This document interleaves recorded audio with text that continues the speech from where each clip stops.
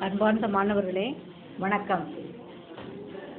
இன்று நாம் பார்க்கக்கூடிய பாடம் உயிரினங்களின் அமைப்பு நிலைகள். இதில் இரண்டாம் பாகத்தை நாம் பார்ப்போம். உறுப்பு மண்டலம்.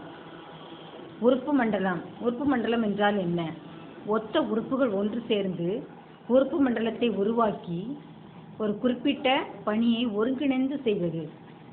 அதுக்கு பேர் தான் உறுப்பு மண்டலங்கிறது உறுப்பு மண்டலம்னா உரு ஒத்த உறுப்புகள் ஒன்று சேர்ந்து உறுப்பு மண்டலத்தை உருவாக்கி குறிப்பிட்ட ஒரு பணியை ஒருங்கிணைந்து செய்வது. இப்போ எடுத்துக்காட்டு இதயம் இரத்த குழல்கள் இணைந்து இரத்த சுற்றோட்ட மண்டலத்தை உருவாக்குகிறது. இப்போ ரத்தம் நம்ம உடம்புல ஃபுல்லாக ரத்தம் அங்கங்கேயும் போகிறதுக்கு முக்கிய காரணம் வந்து இதயம் இதயத்திலிருந்து வரக்கூடிய இரத்த குழல்கள். இதெல்லாம் இணைந்து தான் என்ன உண்டாக்குதுன்னா இரத்த சுற்றேற்ற மண்டலத்தை உருவாக்குது. அதே மாதிரி நம்ம இப்போ சாப்பிட்றது சாப்பிட்றதுன்னு வை.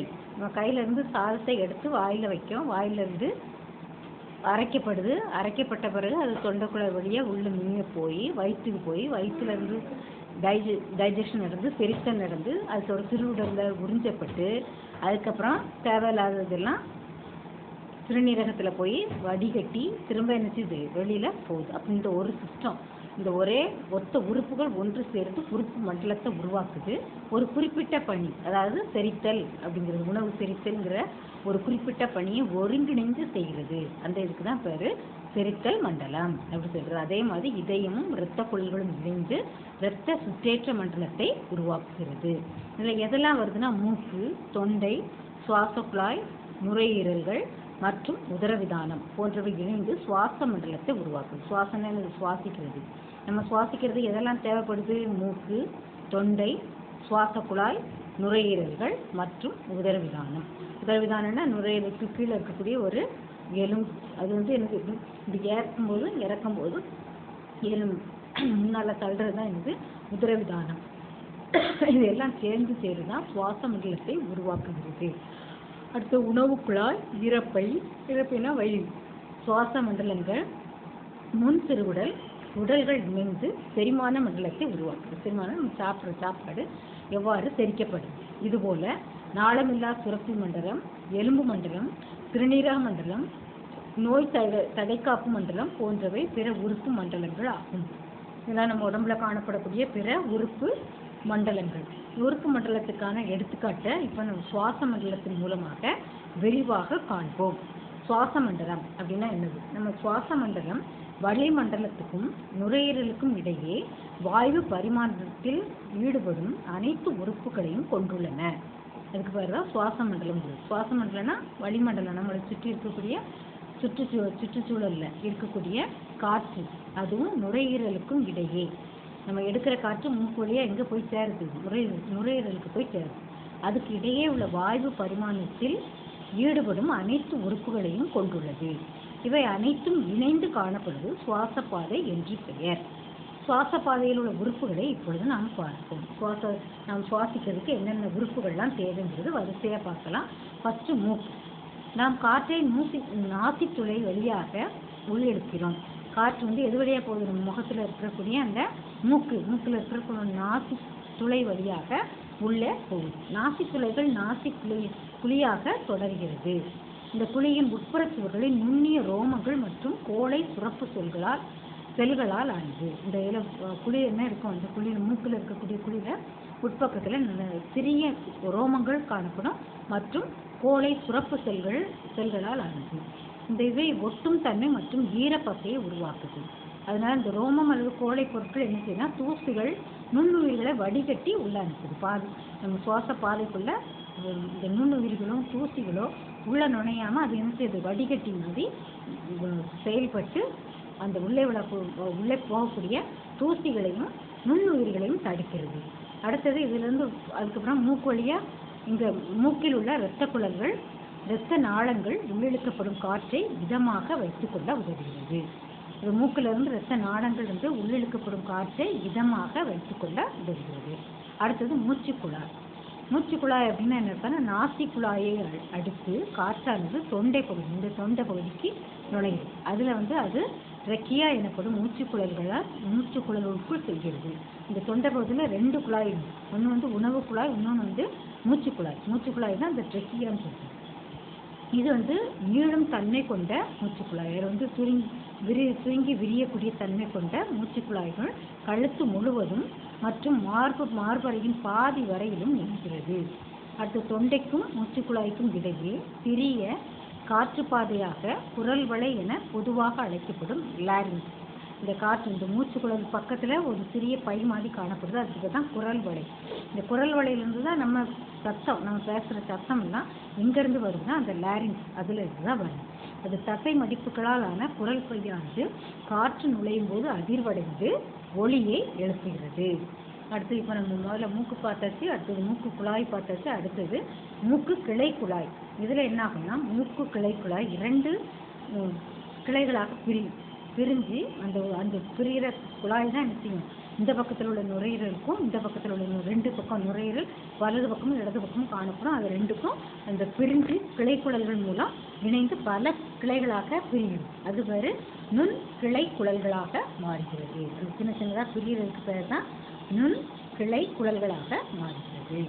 அடுத்தது இப்போ நுரையீரல். நுரையீரல் என்பது என்னன்னா ஒரு நுரையீரல் என்பது காற்றில் உள்ள ஆக்சிஜனை எடுத்துக்கொள்ள உதவும் உதவும்.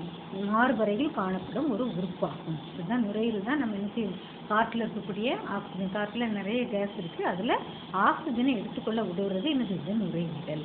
அதில் இவை உடலிலிருந்து வெளியாகும் கார்பன் டை ஆக்சைடை வெளியேற்றவும் உதவுகிறது நம்ம சுவாசிக்கும் போது ஆக்சிஜனை உள்ளே எடுத்து கார்பன் டை ஆக்சைடை வெளியில் விடுவோம். இது ரெண்டுக்குமே நுரையீரல்கள் பயன்படுது. நுரையீரல்கள் மார்பறையின் இருப்பு இருபுறமும் அமைந்த உட்பக்கத்தில் நிரப்புகிறது. அந்த காற்று வந்து எங்கன்னா மார்பறையின் உள் பகுதியில் ரெண்டு பகுதியும் நிரப்புது. இடது நுரையீரலானது இதயத்துக்கு இடமளிக்கும் வகையில் வலது நுரையீரலை விட சற்று சிறிதாக காணப்படுகிறது. இப்போ ரெண்டு பக்கமும் இருக்குது அதில் இடது பக்கத்தில் உள்ள நுரையீரல் வந்து கொஞ்சம் சின்னது. ஏன் அப்படின்னு சொன்னோம்னா அது இதயம் நமக்கு ஒன்று தான் இருக்குது ரெண்டு இல்லை ஒரு இதயம். அது இடது பக்கத்தில் இருக்குது அப்போ அந்த நுரையீரல் பக்கத்தில் தான் இதயம் இருக்குது அந்த இதயத்துக்கு இடம் கொடுக்கறதுக்காக இடது நுரையீரலானது கொஞ்சம் வலது பக்கத்தோட கொஞ்சம் சின்னதா இருக்கும் அப்புறம் நுரையீரலும் ஒவ்வொரு மூச்சு திருக்குழலும் கொத்தான காற்று நுண்ணறைகள் காணப்படுகின்றன. காற்று நுண்ணறைகளாக முடிகின்றன. நுரையீரல்களின் மார்பறையின் ஒவ்வொரு புறமும் காணப்படும் பஞ்சு போன்ற மீளும் பையவாகும் இது மீள் மீளும் சக்தினா இந்த- பெல்ட் மாதிரி. இழுத்தா இழுக்கும் பர அதே இதுக்கு வரும் அதுதான் மீளும் தன்மை கொண்டது. அந்த மாதிரி காற்று பைகள் பஞ்சு போன்று மீளும் தன்மை கொண்ட பையாக காணப்படுகிறது. மார்ப மார்பறையானது முதுகுப்புறத்தில் முதுகெலும்பாலும் வயிற்றுப் பகுதியில் மார்பெலும்பாலும் பக்கவாட்டில் விழா எலும்புகளாகவும் அடிப்பக்கத்தில் குவிந்த உதரவிதானமாகவும் சூழப்படுகிறது. அப்போ மார்பறைங்கிறது என்ன இதில் காணப்படுதுன்னா முதுகு பக்கத்தில் பின்பக்கத்தில் என்னதான் காணப்படுதுன்னா முதுகெலும்பாக காணப்படுது. வயிற்றுப்புறத்தில் மார்பெலும்பாக காணப்படுது. பக்கவாட்டில் விழா எலும்புகளாக பயன்படுகிறது. அடிப்பக்கத்தில் குவிந்த உதரவிதானத்தால் சூழப்படுகிறது.